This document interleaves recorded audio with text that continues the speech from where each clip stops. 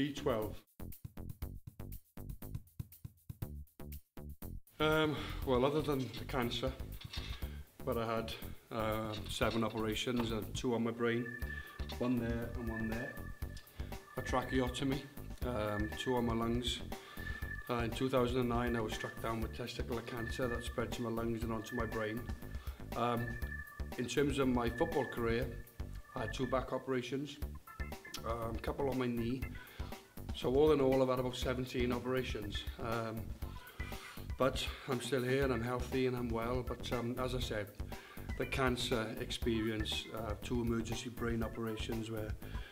they cut the big lump out of my brain there and they drilled a hole in my head there.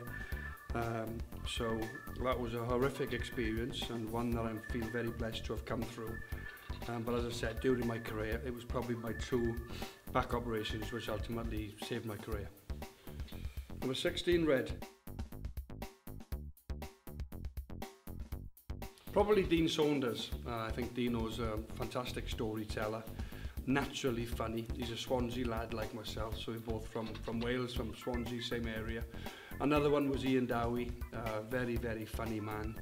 So if I had to say two, uh, Dean I know does a lot of the sportsman's dinners like myself, the after dinner circuit if you like. Um, extremely funny, great, great lad. And uh, of course, Ian Dowie as well, who I played with at West Ham. Another funny man is, uh, is Downer. So them two are the biggest characters and the funniest players I ever played with. Number 15. I would think the players looking after themselves. Um, I would think it's the um, it's now that people are looking after themselves and and uh, they're very much into stretching. A lot of players are into yoga. I think with the amount of money that is in the game now, if you can extend your career two or three more years, you can potentially earn two or three more million pounds in terms of what the guys earn. So I think 15, 16 years ago when I was coming through at Arsenal, you know, we'd have a few pints and a bit of liquid lunch and steak and chips and all this sort of dinners and curry and chips and rice. Whereas now, it's pretty much, you know, it's check-in, it's, uh, it's um, rice, it's, you know, it's, it's all the, all the salads and everything now. It's not so much, you know, pub lunches and players are looking after themselves in general a lot better these days. Number 11. Probably playing for my country. I think I'm very, very honoured to have represented my country, Wales, uh, on over 50 occasions. That for me is undoubtedly my biggest achievement. I went on and played for some big clubs, the likes of Arsenal, West Ham, Celtic, Wimbledon, broke records during my career. Always scored goals, um, but representing my country at senior level,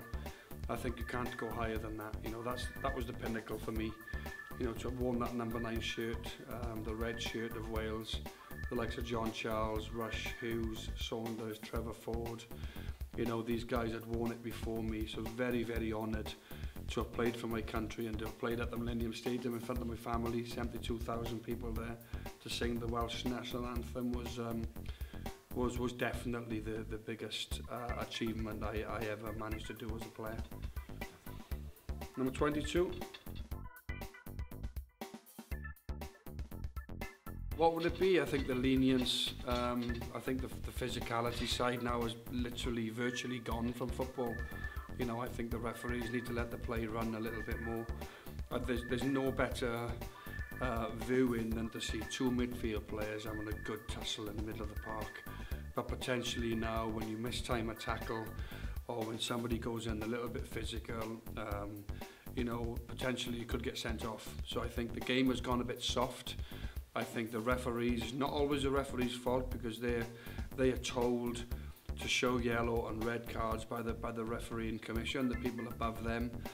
But I do think the game has gone very, very soft and it can be annoying because football is a physical game. It's not for shrinking violets, you know. So for me, um, the physicality is almost gone from football these days.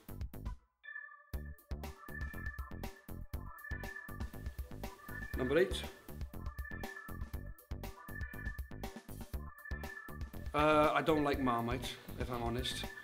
Uh, I don't mind a bit of patty, um, a bit of butter with my toast. I'm not a lover of Marmite. I like jam, but don't like Marmite. Number five. The Water Boys, Fisherman's Blues, probably my favourite song. Number 12. No. No, I don't know. I don't, I don't like horror films. I don't like the dark. I always sleep with the telly on or the lights on. I don't like pitch black. So I don't I don't like horror films. I have watched them over the years, but just just no. I just don't like horror films. I can't sleep at night. Number three.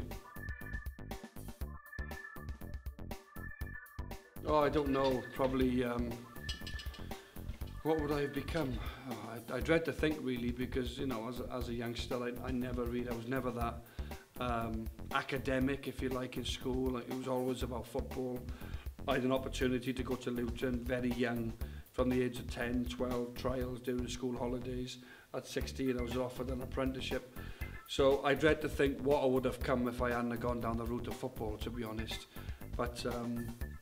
probably I might have owned a bar, something like that in Swansea or London. I, I would have wanted something that would have kept me really busy.